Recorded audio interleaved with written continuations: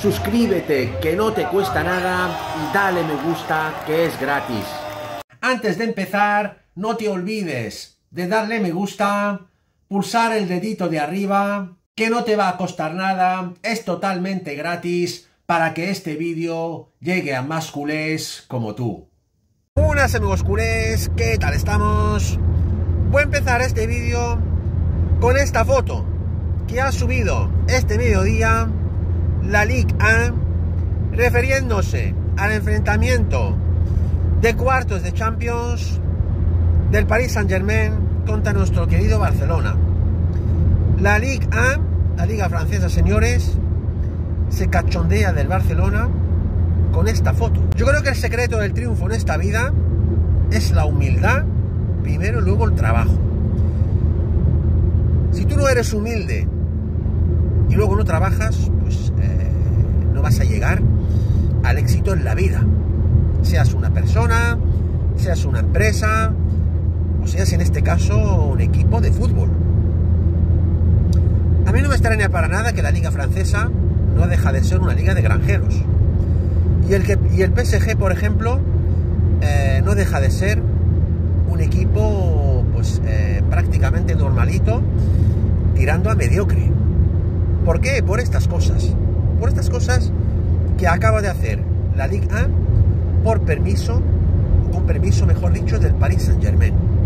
Y no me extraña para nada que el Paris Saint Germain no haya ganado ni una Champions en toda su historia.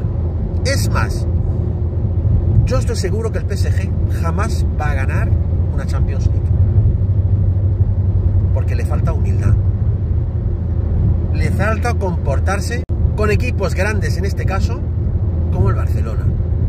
O sea, ¿de qué viene subir esta foto? Recordando aquel partido que han ganado 4 a 1 contra el peor Barça de la historia, esa eliminatoria del 2021. Y por cierto, la vuelta, el Barça ha merecido ganar ese partido. Hemos empatado y porque Messi, por mala suerte, falló el penalti, no el Barça estaba ahí, la eliminatoria, ¿eh? Era el peor Barça de la historia de, Ronald Koeman. Yo creo que tenemos un motivo de, de sobra o de peso para aplastar al PSG. Es que tenemos que aplastar a ese equipo chiquitito del PSG. Con esta foto, cachondeándose del Barcelona que han subido esta tarde, es un motivo de peso para pintarles la cara primero en el Parque de los Príncipes y luego aplastarles en Montjuic. ¿Qué equipo tenemos de sobra? No me valen los culés que no piensan lo que estoy pensando, que vamos a aplastar al PSG. Si a pensar lo contrario, no eres culé. Lo tengo clarísimo. O eres del Madrid o no eres del Barça. O si eres del Barça de verdad, conociendo cómo está el equipo, sobre todo en estos últimos partidos, tienes que saber que el Barça puede aplastar perfectamente al PSG. Lo único que tienen es Luis Enrique y Kylian Mbappé. Si logramos anular a Kylian Mbappé, como dije en el vídeo anterior, controlando el centro del campo, no dejándoles eh, el balón, sobre todo con el centro del campo que tiene más que humilde, basta con ver los jugadores que tiene el centro del campo, no los conoce nadie, o sea, controlando el centro del campo y no cederles el balón, y cuando Kylian Mbappé tenga el balón, mandarle directamente a Araujo y Cundé juntos, pues yo creo que podemos prácticamente humillarles, ¿eh? Estoy de eso, de eso estoy seguro, no lo siguiente. Así que se preparen esos franceses y ese PSG, que el Barça esta vez le va a dar una lección que jamás van a olvidar. Ahí lo dejo. Bueno, hablando del sorteo, creo que el Barcelona no ha tenido tan mala suerte como muchos cavernarios pintan. Yo creo que, por ejemplo, hubiera sido peor suerte si nos hubiera tocado el City de Pep, que por cierto ha, tocado el Madrid. Que vamos a ver, ahí sí que vamos a ver la mayor humillada en la historia de, la Champions League. Se atentos a esa fecha de ese partido que se va a jugar el próximo mes de abril que vamos a disfrutar. Que los culés que somos de Pep y somos del estilo Barça, vamos a disfrutar en ese choque que tiene el Madrid contra contra el Manchester City. Yo creo que lo, van, que lo van a aplastar. Es que lo van a aplastar. Es que va a ser una humillación histórica, no, tengo dudas. Es que el Madrid, hablando de porcentajes, creo que el, el 2%. O sea, la posibilidad de que el Madrid pueda eliminar al Manchester City, en mi opinión, es del 2%. Y el 98% en Manchester, Manchester City va a aplastar al Club Blanco. Ahora sí, Atlético de Madrid ha tenido suerte. Yo creo que el Borussia es un buen equipo, pero creo que el Atlético de Madrid es superior a ese equipo.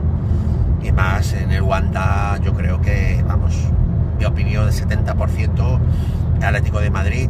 Ojo, salvo sorpresas, que en el fútbol puede pasar cualquier cosa. En el terreno de juego hay sorpresas, pero yo creo que el 70% el Atlético de Madrid va a eliminar a ese equipo y va a pasar a semifinales. Eso sí, otro motivo para humillar y aplastar al PSG y echarlo de esta, de esta Champions, la propotencia francesa y del PSG también. Si eliminamos al PSG, nos vamos a enfrentar al Atlético de Madrid en semifinales. Es un motivo de peso por el Mundialito de Clubs, porque ahí tenemos la oportunidad de eliminar al Atlético de Madrid y ahí clasificándonos para la final, sí que creo que matemáticamente podemos ir sin problemas al Mundialito de Clubs, que es muy importante referente a la economía del club, que se juegan, ojo, 100 millones de euros. Referente a la actualidad de Barcelona, pues eh, como sabemos, Cubarsí y Lamin Yamal han sido convocados para los dos partidos amistosos que juega la selección española. Yo creo que el Barça tiene que decir algo referente a esto. Es que nos jugamos el futuro del club. No aprendemos. De verdad, no aprendemos. ¿No hemos visto qué ha pasado con, con Pedri y Gaby? Que lo hemos reventado. Si tú imaginas ahora mismo las dos pachanguitas que juega la selección, que son dos pachanguitas, son dos amistosos que no valen para nada.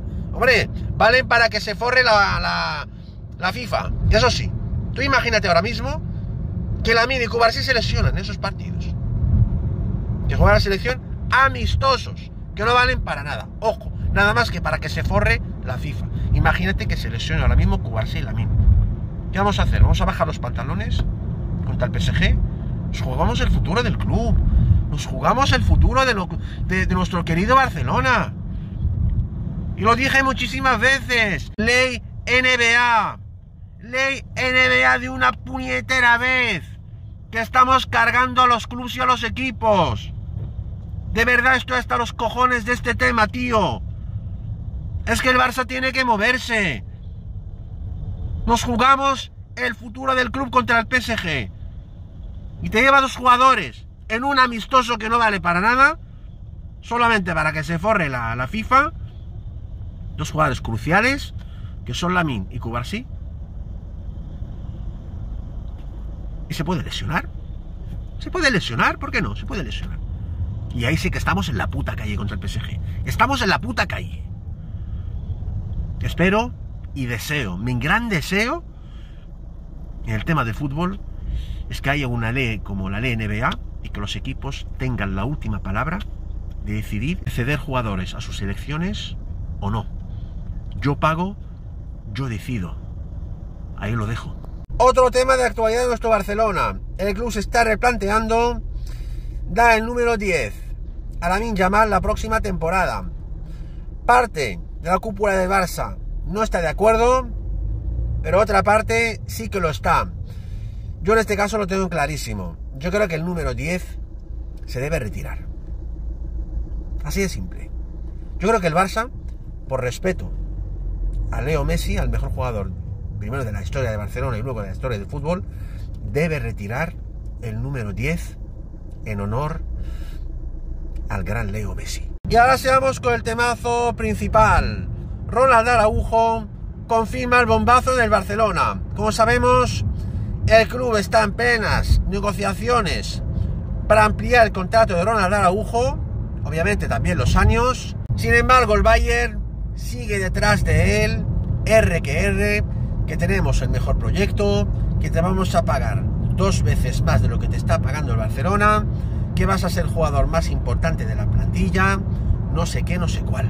Pues bien, una fuente deportiva muy importante y cercana al club acaba de informar que Ronald Araujo acaba de pedirle al Barça un aumento de sueldo bastante considerable. Estamos hablando de una ficha bastante alta, que ronda los 14 millones limpios al año. Pero ojo, aquí hay un problema. El Barça no puede pagarle ahora mismo esa ficha que está pidiendo Araujo. Por muchas razones. Porque el Barça quiere fichar en verano, quiere forzar más la, plantilla y por el motivo principal de que tenemos que rebajar la masa salarial. O sea, el señor Tebas os está apretando y el Barça lo que quiere es rebajar la masa salarial. El Barça puede pagar una ficha alta, pues por ejemplo a Haaland o a, a Kylian Mbappé o a cualquier crack de estos, sí que le puede pagar una ficha alta. Pero el resto de la plantilla, ni la Min Yamal, puede pagarle una ficha tan alta actualmente. ¿Ronald Araujo lo merece? Pues claro que sí. Es que merece eso y mucho más. Pero el problema es que el Barça no puede pagarle esa ficha. Entonces aquí hay dos escenarios. O que Ronald Araujo cambie de opinión y pida menos, o se va a ir al Bayern. Es que no hay otra. Yo creo que el Barça debe intentar convencer a Araujo de bajar eh, lo que está pidiendo y si no, pues que venga al Bayern y que ponga mínimo 120 millones de euros encima de la mesa. O si no, Araujo del Barça no se mueve. Estaremos atentos a los acontecimientos. Esto ha sido todo por hoy, amigos culés. No os olvidéis suscribirse a mi canal, que no os cuesta nada. Pulsar un like como siempre y dejarme comentarios para cambiar opiniones. Muchas gracias. Forza Barça por siempre. Vamos a por todas y vamos a por ese PSG. Y nos vemos muy pronto en mi próximo vídeo. ¡Vamos!